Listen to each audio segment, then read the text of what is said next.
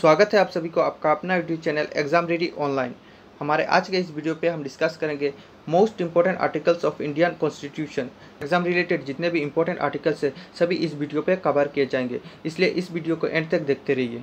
तो आज का वीडियो शुरू करने से पहले कुछ इंपॉर्टेंट चीज़ें हैं जिन्हें हम डिस्कस कर लेते हैं about the Indian constitution so So, Constitution was adopted on 26 November 1949 with 284 members appended their signature out of 299. 26 January 1950, date of commencement of the Constitution. Originally, the Constitution of India consisted of 395 articles, but the number of the articles has since increased to 470.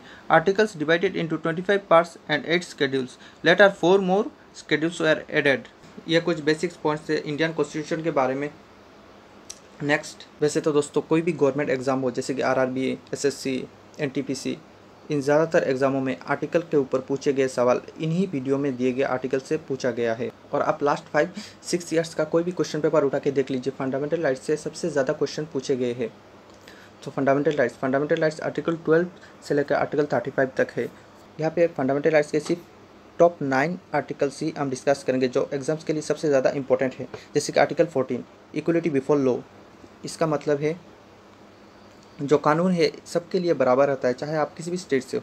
Next article sixteen equality of opportunity in matters of public employment article sixteen इस बारे में बताता है कि अगर government का कोई भी वैकेंसी हो तो आपको आमंत्रित किया जाएगा। Next article seventeen abolition of untouchability अगला है article nineteen protection of certain rights regarding freedom of speech और ये बताता है फ्रीडम ऑफ़ स्पीच की आज़ादी। नेक्स्ट है article twenty one protection of life and personal liberty जो कि हमारे संविधान का सबसे इम्पोर्टेंट आर्टिकल है।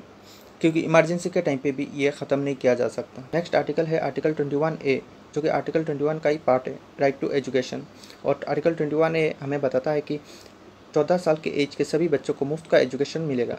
Next article thirty right of minorities to establish and administer educational institution और ये माइनॉरिटीज़ के बारे में है मतलब माइनॉरिटीज़ अपनी एजुकेशनल इंस्टीट्यूशन ओपन कर सकते हैं।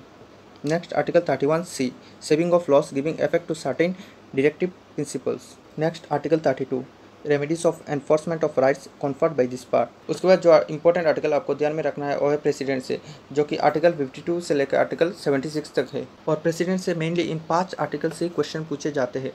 जैसे कि article 52 the president of India मतलब भारत का एक प्रेसिडेंट होगा और ये पोस्ट खाली नहीं रह सकता। नेक्स्ट है आर्टिकल 53 और ये हमें बताता है कि राष्ट्रपति के पास यूनियन की शक्तियाँ होती है मतलब इस देश को चलाने की शक्तियाँ होती है। नेक्स्ट है आर्टिकल 54 इलेक्शन ऑफ़ प्रेसिडेंट मतलब हमारे देश का प्रेसिडेंट इलेक्टेड होगा, ना कि सिलेक्टेड नेक्स्ट है आर्टिकल 61 इम्पीचमेंट ऑफ़ प्रेसिडेंट और ये हमें बताता है कि हमारे देश का प्रेसिडेंट को आप केवल ही इम्पीचमेंट से ही हटा सकते हो। नेक्स्ट जो इम्पोर्टेंट आर्टिकल है article seventy power of president to grant pardons etcetera और ये हमें बताता है कि प्रेसिडेंट किसी भी व्यक्ति की सज़ा कम या ज़्यादा कर सकते हैं। नेक्स्ट जो कि है पार्लियामेंट। पार्लियामेंट से रिलेटेड सिर्फ़ पाँच आर्टिकल्स हमें याद रखने हैं, जो कि बहुत ज़्यादा इंपॉर्टेंट है। तो पहला जो आर्टिकल है आर्टिकल 79 कॉन्स्टिट्यूशन ऑफ़ पार्लियामेंट और ये बताता है कि भारत की एक संसद होगी। नेक्स्ट है आर्टिकल 80 जो राज्यसभा के बारे में बताता है। नेक्स्ट है आर्टिकल 81 लोकसभा।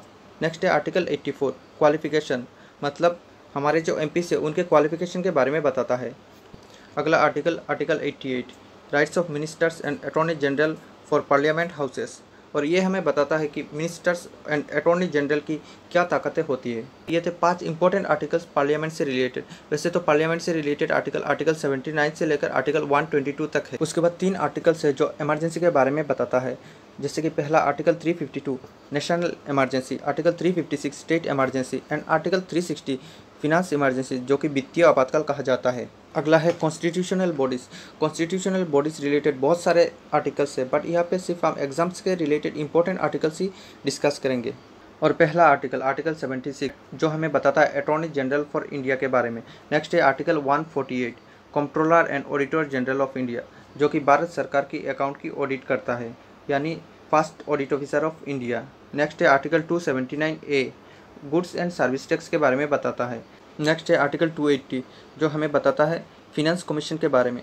नेक्स्ट आर्टिकल 315 बताता है यूपीएससी के बारे में।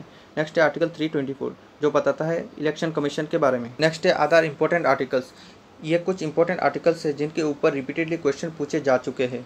आर्टिकल 50 आर्टिकल 50 जो हमें बताता है separation of judiciary and executive इसका मतलब जुडिशरी एंड एग्जीक्यूटिव दोनों अलग अलग रह के अपना कार्य करेंगे। अगला है article 108 joint sitting of both houses in certain cases मतलब पार्लियामेंट में राज्यसभा एंड लोकसभा दोनों को एक साथ बुलाया जाता है। Next article article 110 and article 112 जो कि बहुत ही ज़्यादा इंपॉर्टेंट है। आर्टिकल 110 मानी बिल के बारे में बताता है एंड आर्टिकल 112 बजट के बारे में बताता है।